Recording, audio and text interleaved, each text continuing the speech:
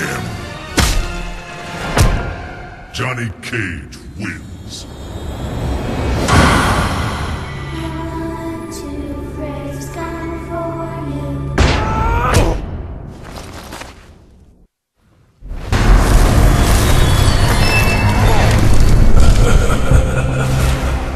A malevolent spirit of the dream realm, Freddy Krueger preys on the souls of the living while they sleep.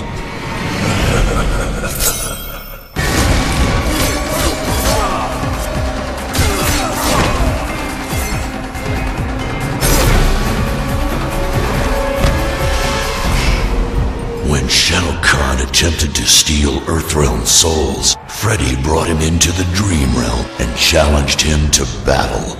Aware of Freddy's dream-fueled powers, cunning Shao Kahn pulled Freddy back into the waking world, making him mortal once again.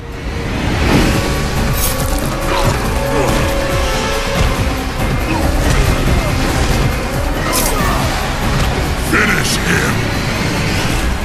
Creating himself two demonically powered razor gloves, a newly mortal Freddy Krueger is determined to kill Shao Kahn. Only then can he return to the dream realm to continue his true passion, torturing the youth of Elm Street.